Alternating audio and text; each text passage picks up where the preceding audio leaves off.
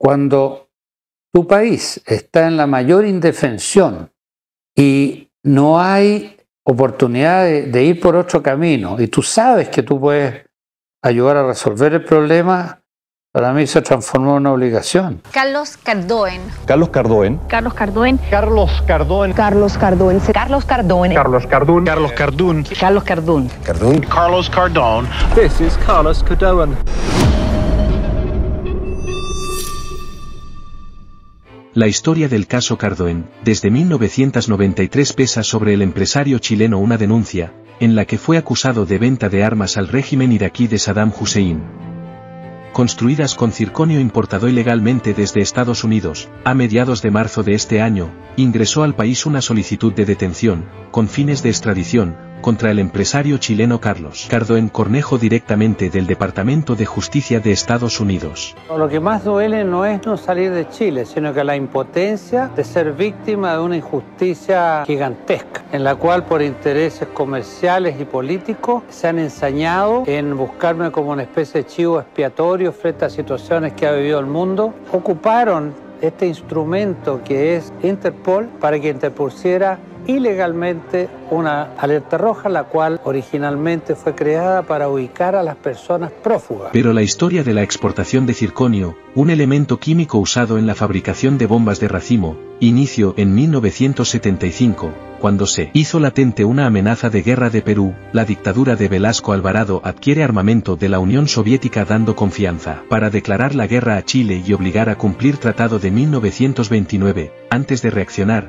Estados Unidos establece una prohibición de venta de armamento a Chile a través de la enmienda Kennedy.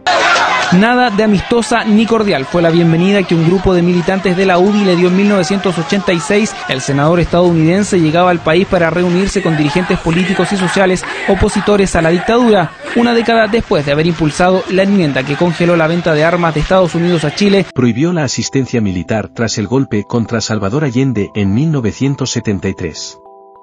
En 1977, el Estado de Chile solicita a un grupo de ingenieros y empresarios, dentro de los cuales está Carlos Cardoen, que comiencen el desarrollo de elementos de defensa con el fin de hacer frente a la amenaza de invasión de los países vecinos Argentina, Perú y Bolivia.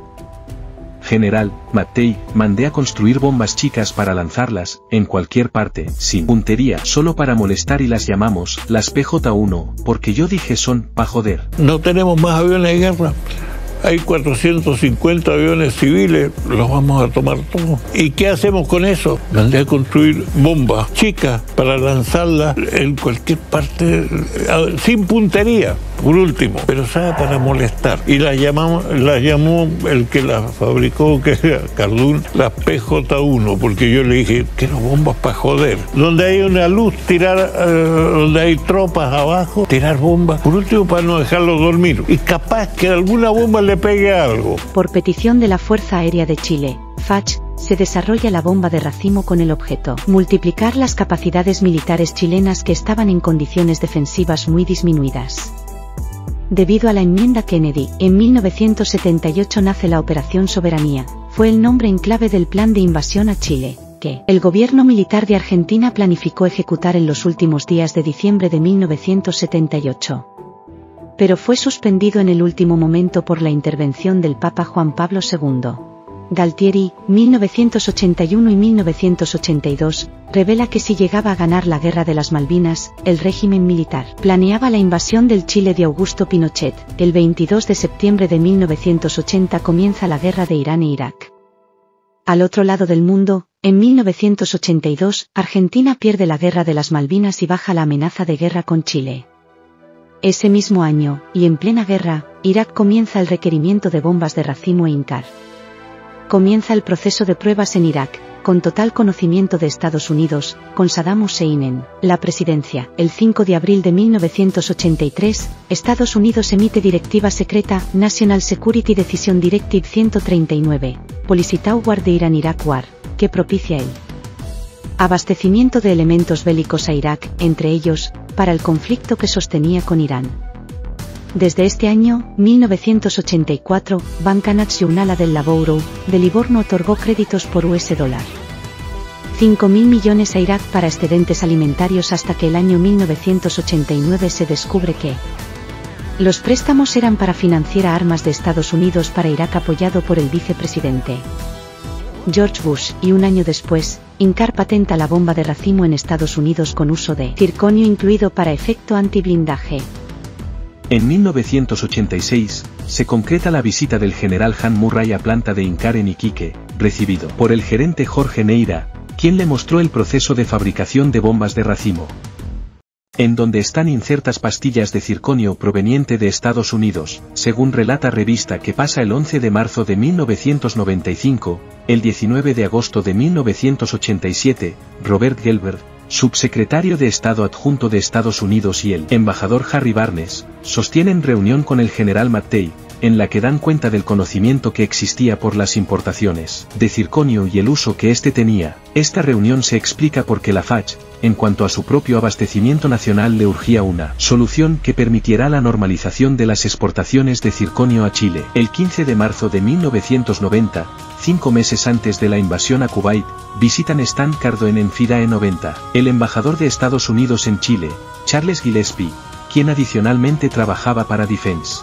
Inteligencia Agency, DIA, principal organización militar de espionaje extranjera que opera bajo la jurisdicción del Departamento de Defensa de Estados Unidos, y el general Henry Canterbury, del Comando Sur de los Estados Unidos, 1 de agosto, Hussein invade Kuwait, quedando atrapados 60 operarios y funcionarios de Inkar en Bagdad, las actividades industriales y comerciales de Incar terminan en Irak ese mismo día, y en diciembre comienza investigación en la Fiscalía de Miami sobre todas las actividades de Carlos Cardoen en Estados Unidos y en el mundo. En 1991, y según la defensa de Cardoen, el gobierno de Estados Unidos pone una cortina de humo acusando a Incar y Carlos Cardoen de haber armado a Irak, el gobierno esconde su responsabilidad allanando las oficinas de Swiss Coproperties, empresa inmobiliaria filial de Incar en Miami, son incautadas propiedades y bienes. En septiembre de 1992 Carlos Cardoen se reúne con fiscales en Jamaica donde alega que la tecnología es chilena y se encuentra patentada en Estados Unidos por Incar, pero no logra su objetivo. Luego, el 26 de mayo de 1993 un jurado en Miami dio curso a la tramitación de una demanda criminal interpuesta por el Departamento de Comercio contra Carlos Cardoen. El día siguiente se emite una alerta roja en contra de Carlos Cardoen Cornejo por Interpol. En 1994 se firma un convenio entre Cardoen y el gobierno de Estados Unidos ante un tribunal de Miami, en virtud del cual se obtuvo el levantamiento del embargo y medidas cautelares que afectaban diversos inmuebles de Swissco Properties, mediante el pago de 8.600.000 que hizo la firma afectada, tras la desestimación de la declaración jurada de un exfuncionario del Consejo de Seguridad Nacional de los Estados Unidos, Howard Taiker, quien acusa a las administraciones Reagan Bush de haber armado a Irak el juicio contra Carlos Cardoense. Descarta, a sugerencia de sus abogados, por no existir las garantías de debido proceso. En el año 2000, un tribunal del Distrito de Miami aprobó el convenio extrajudicial de las partes, en orden a traspasar el dominio del helicóptero Bell de propiedad de Carlos Cardoen incautado por el Departamento de Aduanas al gobierno de los Estados Unidos. En medio de su proceso judicial, en 2004 Carlos Cardoen es diagnosticado de cáncer al colon con metástasis en hígado y ganglios. Se pide a la Fiscalía de Florida llegar a un acuerdo humanitario para que sea tratado en Estados Unidos.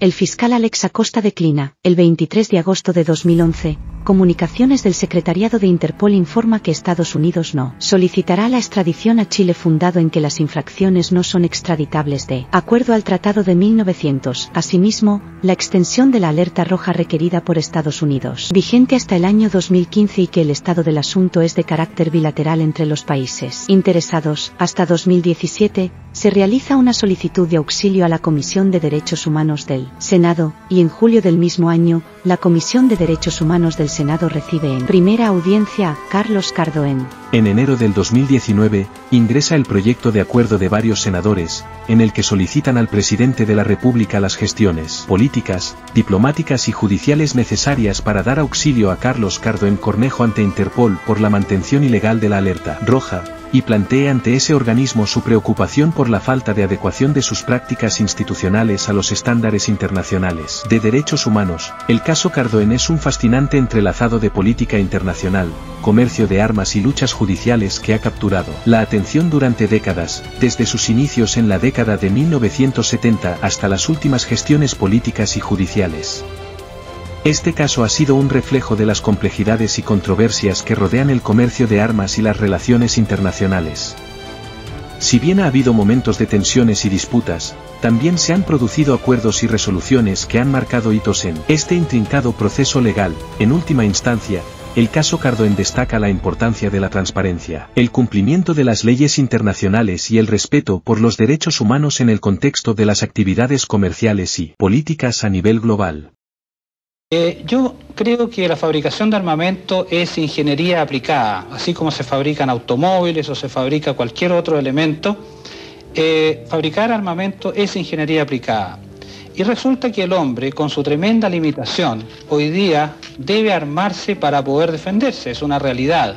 Y frente a esa realidad, los países solamente pueden tener la alternativa de comprar ese armamento a países desarrollados como Estados Unidos, que en el año 91 por primera vez da vuelta su presupuesto y lo hace positivo en base a la venta de armamento, o bien fabricarlo por sí mismo. Nosotros, en nuestro caso, hemos cogido el fabricarlo nosotros mismos y con eso creo yo que estamos dando un montón de ventajas eh, de, por una parte políticas y por otra parte económicas a nuestro país. eso sin duda, señor Cardón, pero no es lo mismo, ¿no es cierto?, fabricar automóviles como la comparación que usted hizo, que es tecnología aplicada, que fabricar armas instrumentos de muerte, por supuesto, como son las si usted me deja terminar, sí, va a entender, estoy seguro. Mire, fabricar, dije yo, armamento no es otra cosa que ingeniería aplicada. Eh, en el caso de las armas, las que todos reconocemos como una realidad, ¿no es cierto? Discutible, por supuesto, pero una realidad. Los países, todos los países compran armas. ¿Y quiénes las fabrican? Los más desarrollados. Bueno, me parece lógico a mí pensar, como chileno, que debemos fabricar esos armamentos en Chile para tener las ventajas comparativas por una parte y el arma política por parte del gobierno en otra. Ahora, respecto a la cuestión moral sobre el uso de ese armamento, para mí está tremendamente claro que la responsabilidad moral no está en quien fabrica el armamento, sino en quien lo usa. Repetidamente he dicho que un palo, la quijada de un burro con la que Caín mató a Abel, son armas, ¿no es cierto? Son armas transformadas por el espíritu con que se emplean y no en el objeto mismo. Sí, pero las armas mortíferas que usted ha fabricado, la bomba de racimo con sus 24 bombas adentro, capaces de repartir esquilas por 50 mil metros, capaces de atravesar un blindado en 15 centímetros de acero. ¿Eso es lo mismo que la quejada de un burro? No, pues, pero es que tampoco andamos vestidos con pieles ni nos andamos matando los unos a los otros. El hombre avanzado y el hombre con la civilización, su tecnología, han hecho este mundo algo diferente. Se han, han crecido en lo bueno y han crecido en lo malo. Yo considero que las armas son la cosa más estúpida que existe en la Tierra. Sin embargo, mientras el hombre las considera una necesidad, repito, es una realidad y hay que aceptarla como tal. Que hay muchas cosas que son realidades. La prostitución también es una realidad. Con ese argumento suyo se justifica todo. No, yo he dicho que estamos enfrentados a una realidad y que esa realidad son la existencia de las armas que los países, eh, apoyados por, sus leyes, por sus constituciones, por sus organismos estatales, por sus congresos, consideran una realidad. La prostitución, al igual que las drogas y las muchas otras cosas que, que son cargas sociales de la humanidad, son defectos que se desarrollan no bajo el amparo de la sociedad y del gobierno, sino que como una, como una lacra que lo, que, lo acompaña. Yo creo, yo creo que mucho más tiempo a mí me quita el saber que nosotros, que haya gente que pretende resignarse a ser un país en su desarrollo, un país pobre, un país que no aprovecha sus oportunidades, un país que no crece. Yo creo que las actitudes en esta vida deben ser definidas. Hay cosas que no necesariamente son como uno quisiera, pero yo creo que el esfuerzo hay que colocarlo en aquello que uno puede cambiar, no en lo que no puede cambiar. Eh, de tal forma que las armas son una realidad, no las defiendo. O sea, ya que son una realidad, hagámoslo lo más mortíferas posible. No son, no son, eh, no son, eh, no están prohibidas, son, digamos, una necesidad y en esas funciones que existen. Como lo expliqué hace un momento atrás, el hacer cosas significativas, cosa muy orgullosa para un chileno eh, como yo, eh, lleva a que cuando se hacen eh, negocios o se llevan temas que son de relevancia nacional, esos temas normalmente son tratados por los gobiernos y muchas veces por los propios presidentes. De tal forma que he tenido en mi vida empresarial la oportunidad de conocer a muchísimos estadistas y prácticamente todos los presidentes de los países donde me ha tocado trabajar. En el caso de Irak no es distinto. El presidente Saddam Hussein, antes de que se transformara de bueno en malo, según cierto, la opinión generalizada, eh, nos invitó a participar en, eh, primero en el suministro de armamento para su país y luego en la reconstrucción de su país.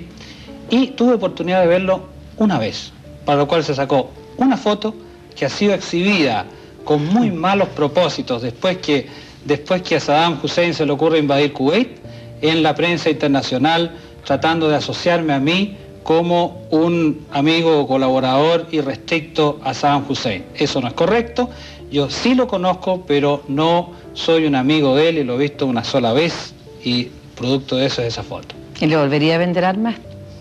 No, yo creo que no le volvería a vender armas a Saddam Hussein, aun cuando, aun cuando, yo no soy el que toma las determinaciones respecto al tema del armamento, sino que es el gobierno.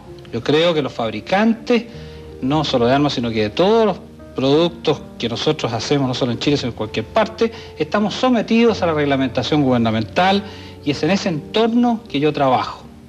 Es decir, yo exporto a donde a mí se me conmina o se me autoriza a exportar. Eso es en, en, la forma de hacer el negocio absolutamente transparente. Pero a usted lo están acusando ahora de varias cosas que no son tan transparentes, ¿no es cierto? Hay demandas civiles en contra suya en Estados Unidos están confiscadas propiedades suyas en Florida, propiedades incluso que usted vendió. El servicio de aduanas le ha confiscado su helicóptero Cardón Bell, Cardún se dice, ¿verdad? Cardón. Multipropósito, la, acusación de lavado de dinero a la que aludíamos delante. Yo quisiera que viéramos un poquito cada uno de estos temas. parece que nos vayamos de a uno? correcto. Enfrentar todo esto. Hablemos primero del helicóptero. Perfecto, mire, el helicóptero es Fue incautado por la aduana de Texas, ¿no es cierto? ¿Con qué Pero justificación? Les cuento brevemente que se trata, eh, con respecto a la teleaudiencia. Eh, el helicóptero eh, Cardún Bell 206L3 es un concepto que yo desarrollé con ingenieros, técnicos chilenos, tecnología chilena, grandes túneles de viento, equipamiento único que pudimos desarrollar, ayudado por todo tipo de elementos de computación muy sofisticados llegamos a producir un producto que necesitaba el mercado, especialmente países en desarrollo. Este producto es un helicóptero modificado que usa como base una aeronave norteamericana y que mediante la modificación puede ir actuar como una aeronave civil durante tiempo de paz y como una aeronave de ataque en caso de guerra. Esto permite que un país en desarrollo perdón, tenga un mejor uso de sus recursos. Los países desarrollados usan helicópteros especializados para la guerra y especializados para la paz. Desarrollado este esfuerzo, tuvimos a la FAA, que es la Federal Aviation Administration de Estados Unidos, eh, inspeccionando cada detalle de lo que nosotros hacíamos con el helicóptero a objeto de certificarlo en los Estados Unidos, poder venderlo en Estados Unidos y poder venderlo en los países que se rigen bajo la FAA. Este helicóptero se voló aquí, lo volé yo personalmente, se llevó luego a Estados Unidos a requerimiento de la FAA y allá se produce, cuando está allá, se produce la guerra del Golfo y la FAA, lejos de, ah, después de volar el helicóptero y hacer todos los test de prueba, lejos de aprobarlo, decir, rechaza o eh, se niega a se niega que nos dar la certificación. Y luego de eso... En Pero se niega por una razón bien específica. Ellos por el temor de que usted lo envíe a Irak. Exacto, pero es absurdo, esto, es una cosa de niño. ¿Cómo podría exportarse un prototipo, un helicóptero experimental? Yo no tengo una fábrica de helicópteros, de helicópteros aún, no la tenemos. Este es un helicóptero, ¿cómo podría exportarse? Además que tiene matrícula norteamericana. No, pero con algún objetivo usted lo llevó para que le hicieran todas las certificaciones, hizo todas las pruebas. Su objetivo era producirlo en serie y era un antiguo anhelo suyo. Pero por supuesto, pero este helicóptero no se podía exportar como, como así lo, suponía la aduana americana.